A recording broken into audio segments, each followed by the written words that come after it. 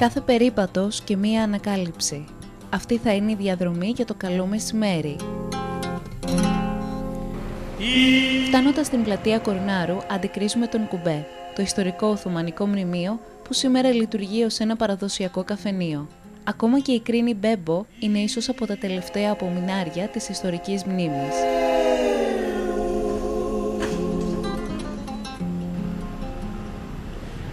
Το Βαλτές Τζαμί είναι εδώ πέρα, δε, αυτή η πλατεία δεν την έχουν.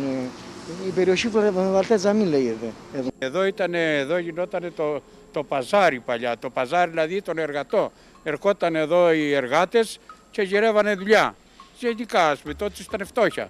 Δεν ήταν όπως είναι τώρα.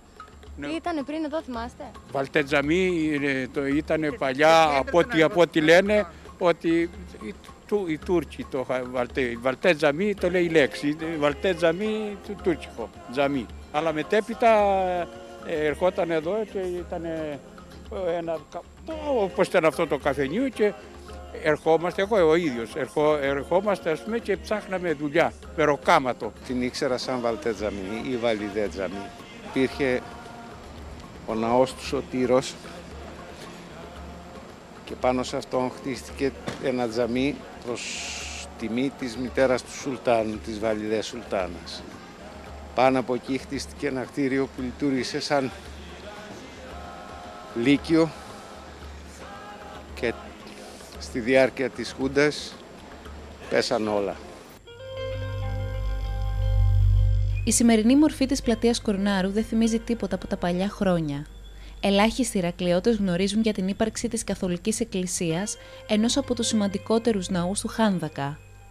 Ο ναός του Σωτήρος, που στην πορεία των χρόνων με την άφηξη των Τούρκων μετατράπηκε σε τέμενος της βασιλομήτρος Βαλιδές Σουλτάνας. Καθώς περνούσαν τα χρόνια με κάποιες ελάχιστες τροποποιήσεις, ο ναός του Σωτήρος φιλοξένησε το πρώτο γυμνάσιο Θηλαίων στο Ηράκλειο, μέχρι και τις αρχές του 1960. Ενώ η αυλαία για τον ιστορικό ναό έπεσε τον Ιούλιο του 1970, μετά από απόφαση της κυβέρνησης της δικτατορίας. Στη θέση του σήμερα βρίσκεται η πλατεία Κορνάρου. Και ενώ ο περίπατος συνεχίζεται, η διαδρομή μας οδηγεί στην πλατεία 18 Άγγλο, στην παραλιακή λεωφόρο, στο ύψος που συναντά το ενετικό λιμάνι. 18 Άγγλων. Μήπως ξέρετε για ποιο λόγο πήρε το όνομά της; Διότι το